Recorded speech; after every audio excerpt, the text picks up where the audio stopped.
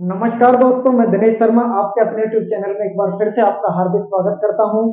दोस्तों, जैसा कि आप अपने बोर्ड के सामने, अपनी स्क्रीन के सामने लिखा देख रहे होंगे, सब मामला जो भी है। आज मैं तथ्यों के बारे में बात करने वाला हूँ, दोस्त। आज मैं आंकड़ों के बारे में बात करना हूँ, करने वाला हूँ ऑफिशियल आंकड़ों के बारे में। जी हाँ दोस्त।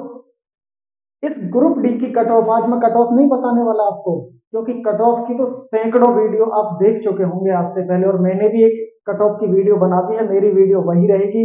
लेकिन मैं आज बात करूँगा सभी तथ्यों को लेकर संपूर्ण तथ्यों का विवरण करने के बाद मैं थोड़ा सा लेट आया हूँ, लतीफ आया हूँ, लेकिन सही और सटीक बिल्कुल जानकारी आपके साथ शेयर करने आया हूँ, दोस्त। तो जितना भी सब मामला देख पा रहे होंगे, ये 2018 की भर्ती का 2023-24 की भर्ती से क्या रिलेशन है, इसके बारे में मैं आपको बताने वाला हूँ। उसके अलावा एनटीए ने जो ऑफिशियल डाटा अपना दिया था ग्रुप सी का जो प्री का एग्ज़ाम था ग्रुप सी के प्री के एग्ज़ाम के जो नॉर्मलाइजेशन स्कोर लेव था, कितने बच्चे, कितने नंबर पे थे वो सब चीज़ों की चर्चा आज की क्लास में, आज के सेशन में हम करने वाले हैं। तो आइए मैं शुरुआत करता हूँ दोस्त, यहाँ से 2018 की भर्ती से। जिन बच्चों ने 2023-24 का दिया होगा 2018 की भर्ती का भी जिन बच्चों ने दिया होगा, आज से चार पाँच साल पहले। उनको पता होगा, नहीं पता है तो मैं आपकी जानकारी के लिए बता दूँ। उनकी जो जर्नल की कट ऑफ़ गई थी, वो उनहत्तर पे गई थी ईडब्ल्यू e की सड़सठ पे गई थी बीसीए की तिरसठ पे बीसीबी की चौसठ पे और एस की साठ पे। ये सत्तर से कम गई है और वेटिंग में एक एक नंबर कम गई है, आप अपनी स्क्रीन पर देख लीजिए। अब ये जो जर्नल की उनहत्तर पे कट ऑफ़ गई थी, ये हम कह सकते हैं कि हार्ड पेपर था। लेकिन बच्चे, इसमें जो पद थे, वो अठारह हज़ार दो सौ अठारह पद थे। मान सकता हूँ, पद अठारह हज़ार दो सौ अठारह थे लेकिन अब तेरह हज़ार पाँच सौ छत्तीस पद है।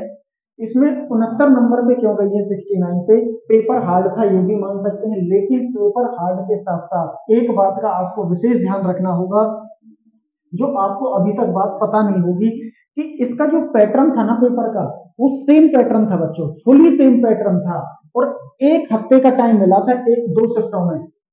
मानो, जैसे आज सैटरडे संडे को पेपर हुआ है तो अगले सैटरडे संडे को पेपर एक हफ़्ते का टाइम मिलेगा इसमें। और एक हफ़्ते में जो सेम पैटर्न रहेगा, और बच्चे, यहाँ तक सेम पैटर्न था, दो से तीन क्वेश्चन मैथ के सेम थे। उनके आंसर भी सेम थे और रकम भी सेम थी। ऐसा नहीं है कि ये इतना कठिन पेपर था, ऐसी बात नहीं है। लेकिन उसके होते हुए भी कितने पे गई है? उनहत्तर पे गई है ये कट ऑफ़ कम जाएगी, ज़्यादा जाएगी, सारी बात की चर्चा हम करेंगे। पूरी वीडियो में बनी रहिएगा। और आखिरी में आपको मैं बताऊँगा कि आंकड़ों के आधार पर कट ऑफ़ इतनी ही जाने वाली है। अब हम बात कर लेते हैं एनटीए का जो ऑफिशियल डाटा आया है सीटी नॉर्मलाइजेशन जो स्कोर स्लैब आया है, ये कैटेगरी दे रखी है। ये आपका ग्रुप नॉर्मलाइजेशन मार्क दे रखे हैं। कितने नंबर से कितने के बीच में टोटल कैंडिडेट कितने थे, कितने एस्पायरेंट थे। जो पेपर जिन्होंने क्वालिफाई किया था। ये जो जर्नल है, सत्तर से लेके तिरासी पॉइंट छप्पन तक, करीब करीब साढ़े तिरासी नंबर तक, सत्तर से और तिरासी के बीच में जो टोटल बच्चे थे ना बच्चों, वो बाईस सौ तीन बच्चे थे टोटल ओवरऑल जर्नल के। और ईबीएस ईडब्ल्यूएस की अगर मैं बात करूँ तो सत्तर से लेके तिरासी पॉइंट छप्पन तक टोटल थे बारह सौ आठ बच्चे। और वहीं में अगर इतने ही नंबर में एस की बात करूँ स्टूडेंट तो सत्तर से इक्यासी पॉइंट उनतालीस तक, ये तिरासी तक छू ही नहीं पाए।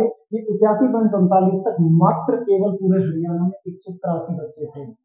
कौन कहता है कि पिछहत्तर चली जाएगी, छिहत्तर चली जाएगी, सतहत्तर चली जाएगी, जहाँ तक भी बता रहता है।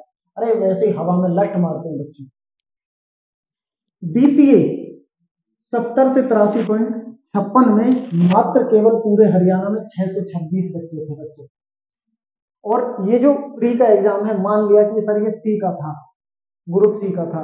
बच्चे, इस बात का भी ख्याल रखिएगा, ये ग्रुप सी का तो था प्री का एग्ज़ाम था, लेकिन ये जो ग्रुप डी का बच्चा था तो इस ग्रुप डी के इस ग्रुप सी के बच्चे में इस ग्रुप सी का जो ये प्री का एग्ज़ाम था, इसमें ऐसे बच्चे भी बैठे थे, या तो जो ऑलरेडी नौकरी लग रही है, जो clerk as a clerical job पे लग रहे हैं, या ग्रुप डी में जो पहले 2018 की भर्ती में लगे हुए थे, वो भी इसमें आए थे।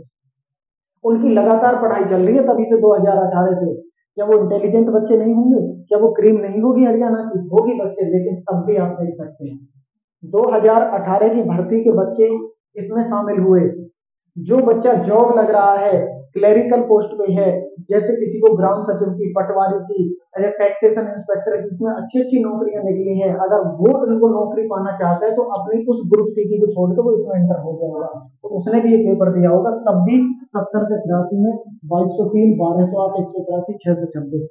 बीसीबी सत्तर से बयासी पॉइंट बयालीस तक मात्र पूरे हरियाणा में सात सौ अड़सठ बच्चे थे और जर्नल अदर स्टेट के इतने से इतने के बीच में मात्र बयासी बच्चे थे। ये बिल्कुल ऑफिशियल डेटा मैं आपको बता रहा हूँ। अब बात करते हैं साठ से सत्तर के बीच में कितने थे। उनहत्तर पॉइंट समथिंग है, मैंने सत्तर लिख दिया है। जर्नल के साठ से सत्तर के बीच में सोलह हज़ार एक सौ चौरानवे बच्चे जितने नंबर हाई बढ़ते रहेंगे, उतना एक एक नंबर पे कम फाइट होती रहेगी। और लेकिन जितना हम स्कोर में नीचे आते रहेंगे स्टूडेंट एक एक नंबर पे उतने ही हज़ारों बच्चे बढ़ने लगेंगे। तो सत्तर से ऊपर आप यहाँ देख रहे होंगे और सत्तर के नीचे आप यहाँ देख रहे होंगे तो सोलह हज़ार एक सौ चौरानवे बच्चे थे। और ईडब्ल्यू एस के इतने नंबर पे सात हज़ार सात सौ अड़सठ एस में तीन हज़ार आठ सौ सत्रह बीसीए में छह हज़ार छह सौ पंद्रह। और ये नंबर जब नीचे आएँगे पचास से साठ के बीच में आएँगे तो डबल हो जाएँगे, बत्तीस हज़ार बच्चे हो जाएँगे। तो जितने कम नंबर होते रहेंगे, उतने बच्चे बढ़ते रहेंगे और जितने ज़्यादा नंबर होते रहेंगे, उतने कम बच्चे होते रहेंगे। तो ऐसा मत मानिए कि आपका सत्तर का स्कोर कम है, बहुत अच्छा स्कोर है बच्चे। आपकी पूरी पूरी संभावना है कि आपका सिलेक्शन ग्रुप में होगा। और तथ्यों की बात करता हूँ मैं। आउट ऑफ़ हंड्रेड ये मैंने कट ऑफ़ बनाई थी। यहाँ पे भी मैंने कट ऑफ़ लिख दी है। एक वीडियो मैंने बना रखी है। मैंने डिस्क्रिप्शन में लिंक दे रखा है। आप उस क्लिक करके उस लिंक पे देख सकते हैं। मैंने कट ऑफ़ डीवी की भी बना रखी है और उसके अलावा मैंने final cut off out of hundred भी बना रखी है। जर्नल की सत्तर पॉइंट पाँच प्लस माइनस दो ईडब्ल्यू एस उनहत्तर प्लस माइनस दो बीसीए छियासठ प्लस माइनस दो, ये सारी चीज़ दे रखी है। मान लिया ये पेपर इजी था। इसमें है तेरह हज़ार पाँच सौ छत्तीस पर। प्लस में संभावना है कि पंद्रह सौ बढ़ जाए तो टोटल पंद्रह हज़ार वैकेंसी हो जाएँगी। समथिंग समथिंग नहीं भी बढ़े, तेरह हज़ार इसके चार गुने आपको डीवी के लिए बुलाया जाएगा। डीवी इसमें से माइनस पाँच कर लीजिएगा, इतने पे आपका डीवी आ जाएगा। अब देखिए, यहाँ पेपर हार्ड था, यहाँ पेपर इजी है। लेकिन लेकिन फुली सेम पैटर्न था। एक हफ़्ते का टाइम मिला था। तो एक हफ़्ते में तो यार पूरी किताबों को रट देता है बच्चा। पूरी किताबों को रट देता है, एक हफ़्ते में अगर पैटर्न पता लग गया ना कि किस तरह का आ रहा है, एक क्वेश्चन सेम वहीं से, दूसरा क्वेश्चन सेम वहीं से। तो चीज़ें आसान हो जाती है। सेम मैथ्स के सेम क्वेश्चन थे। आप पेपर उठा के देख लीजिएगा प्रीवियस ईयर अगर मेरी बात पर आपको विश्वास नहीं हो रहा तो खुद अपनी आँखों से देखिएगा। अब यहाँ पे ये इतना भी आसान नहीं था जितना मान रहे हैं। अगर मैं आज आपको पेपर पढ़ा दूँ ना सारा, सौ की सौ नंबर का पेपर पढ़ा दूँ, और कल आपका पेपर वही देने जाओ तो बच्चे उसमें से भी आप पाँच से छह क्वेश्चन गलत करके आओगे। क्योंकि पेपर का प्रेशर बहुत होता है, केवल पेपर का प्रेशर आप पे नहीं है, वो सभी बच्चों पे होता है। पेपर में चार से पाँच क्वेश्चन हर एक बच्चे के जो इस वीडियो को देख रहा होगा, मैं गारंटी के साथ कह सकता हूँ, जो आते ही आप ये करा, अरे इसका आंसर ये नहीं था, ये था। मतलब आते हुए क्वेश्चन गलत हो जाते हैं। जो बिल्कुल आप कंफर्म श्योर होते हैं कि इसका आंसर ये होगा लेकिन पेपर में जो प्रेशर होता है ना दिमाग पे, बहुत ज़्यादा होता है बच्चों तो ऐसी बात नहीं है। अच्छा स्कोर है आपका, अगर सत्तर से ऊपर है। उसके अलावा मैं बताने वाला था इसमें दिल्ली पुलिस का। क्या बच्चों? दिल्ली पुलिस का। हाँ एक बात और, दिल्ली पुलिस को बताने से पहले, इसमें, इस जो पेपर में जो 2023-24 का, अभी का, हाल ही का ग्रुप डी का पेपर हुआ है इसमें आपने देखा होगा 22 की इवनिंग शिफ्ट की कहा लिखू मैं? लिख देता हूँ यहाँ पे। इसको मिटा के थोड़ा सा यहाँ पे। ये तो समझ गए होंगे आप।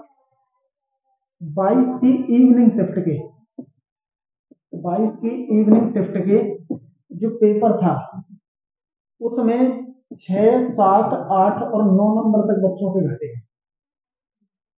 छह, सात, आठ, नौ, क्योंकि टॉपर्स मिले होंगे, कह रहे थे कि भी आसान पेपर है, इतना भी आसान नहीं था बच्चे, सब मॉडरेट पेपर थे। लेकिन हाँ उस शिफ्ट में ज़्यादा टॉपर्स आ गए, अच्छी क्रीम क्रीम बैठ गई तो उन्होंने ज़्यादा नंबर ले लिया। तो एनटीए ने नॉर्मलाइजेशन के हिसाब से देखा कि इस शिफ्ट में ज़्यादा नंबर है तो वो आसान मान लिया। कोई अपने आप आसान नहीं माना जाता, क्योंकि फैक्ट पे बात होती है ना फैक्ट पे बात है। आप पढ़े लिखे इंसान है यार। बेशक आप ग्रुप डी ग्रुप डी को आप सोच रहे होंगे कि दसवीं क्लास का बच्चा बैठा होगा ग्रुप डी मारे, नहीं मेरे भाई। बारहवीं ग्रेजुएशन यहाँ तक कि पीजी वाले बच्चे भी यहाँ इस ग्रुप डी की भर्ती में शामिल हुए हैं, जो ग्रुप सी वाले बच्चे, यही सारे ग्रुप डी में हैं। पढ़े लिखे इंसान हैं। फैक्ट पे बात करिए तो उसने नॉर्मलाइजेशन के हिसाब से नौ नंबर तक कम कर दिया। अब आप सोच के देखिए, जिस बच्चे के अस्सी नंबर आ रहे थे, और अस्सी में से आठ घटा दिए, कितने पे पहुँचा दिया?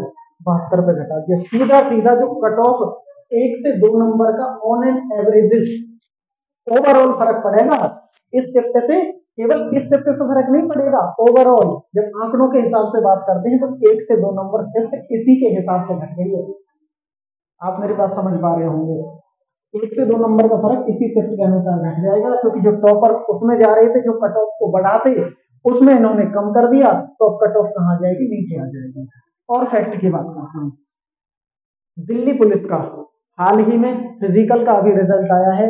समथिंग समथिंग अस्सी हज़ार बच्चों में से आठ हज़ार बच्चों को फ़िज़िकल लगा है। अब आप देख लीजिए, ये देश के युवा हैं हमारे। ऐसा भी हम कह सकते हैं कि केवल मात्र 10 परसेंट फ़िज़िकल हुआ है बच्चों पे। अब 10 परसेंट फ़िज़िकल इसमें भी बहुत कम गई थी, बचपन से समथिंग समथिंग कट ऑफ़ गई थी इसकी। तो अब वैकेंसी पूरी है, अब पूरी है तो इसमें जो बच्चे ग्रुप डी में भी पेपर दिया होगा हरियाणा से हरियाणा से भी कुछ ऐसे बच्चे होंगे जिन्होंने दिल्ली पुलिस में, और अच्छे बच्चे होंगे, ऐसे बच्चे, तीन से चार बच्चे मेरी जानकारी में हैं, जिनके इस पेपर में स्कोर कितना बन रहा था, किसी का पचहत्तर था, किसी का उनासी था, एक बच्चे का था इन तीन बच्चों को तो मैं जानता हूँ। ये हमारे यहीं से है, फरीदाबाद से। अब ये तीनों बच्चे, इन्होंने, इनका फ़िज़िकल भी हो गया है पेपर भी हो गया है तो दिल्ली पुलिस की अगर पहले भर्ती हो जाती है तो दिल्ली पुलिस में सिलेक्ट हो जाएँगे तो इस जॉब को यहाँ से कर तो ऐसे कुछ नहीं तो आधे नंबर का फ़र्क पड़ सकता है। मैं एक भी नहीं कहता क्योंकि कम बच्चे होंगे। तो क्योंकि ओवरऑल दिल्ली पुलिस में, दिल्ली से, हरियाणा से, यूपी से, इन तीन राज्यों से ज़्यादा बच्चे आते हैं दिल्ली पुलिस में। तो एक से आधे नंबर का फ़र्क पड़ जाएगा। अब बात करते हैं टीजीटी भर्ती की। अगर टीजीटी भर्ती पूरी हो जाती है, बच्चों, अगर टीजीटी भर्ती पूरी हो जाती है तो मैं गारंटी के साथ कह सकता हूँ बच्चे, एक से दो नंबर का फ़र्क पड़ जाएगा। कितने नंबर का फ़र्क पड़ जाएगा? एक से दो नंबर का। एक से दो नंबर और नीचे कट ऑफ़ कम आ जाएगी। ये जितनी बताई है ना, इससे भी कम आ जाएगी कट ऑफ़ अब टेक्निकल छप्पन सत्तावन, इसकी चर्चा में बहुत सारी कर चुका हूँ और बहुत सारी आप वीडियो देख भी चुके होंगे और हर रात को आप एक वीडियो देख लेते होंगे। कि ग्रुप डी का क्या चल रहा है? आप थंबनेल पे देखते होंगे, आ गया आ गया ग्रुप डी का रिज़ल्ट आ गया डी भी आ गई कट ऑफ़ आ गई ऑफिशियल आ गया, ये आ गया तो दिमाग खराब रहता होगा, मैं मान सकता हूँ, लेकिन बच्चे, ये आपके साथ नहीं, ये सबके साथ होता है। जब तक फाइनल रिज़ल्ट नहीं आ जाता है, तब तक आपके दिलो दिमाग में केवल ग्रुप डी ही चलता रहेगा। और साथियों, अगर आप ग्रुप सी का पहले करवा लेते हैं क्योंकि सोशल मीडिया पे आप एक्टिव रहिए, उसके अलावा सारे बच्चे अभी जींद में प्रोटेस्ट किया था, अभी हिसार में करने वाले हैं तो आप उन बच्चों का साथ दीजिएगा। तो ग्रुप सी की अगर छप्पन सत्तावन की टेक्निकल भर्ती अगर आपकी पूरी हो जाती है तो मैं यकीनन कह सकता हूँ कि पाँच से छह नंबर और कट ऑफ़ नीचे आ जाएँगे।